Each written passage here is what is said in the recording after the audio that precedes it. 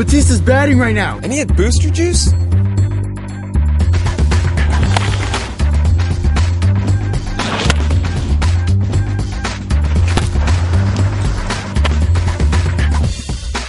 Jose Bautista, powered by Booster Juice.